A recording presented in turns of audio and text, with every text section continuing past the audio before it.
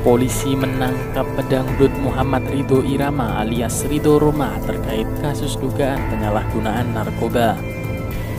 Kabit Humas Polda Metro Jaya, Kombes Pol Yusri Yunus membenarkan penangkapan tersebut.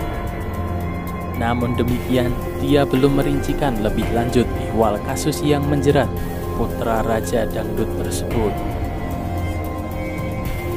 Dia pun belum mengungkapkan lebih lanjut terkait tempat kejadian perkara atau TKP penangkapan yang dilakukan oleh aparat polisian terhadap penyanyi kenamaan tersebut. Dia hanya membenarkan bahwa Ridho Roma positif amfetamin.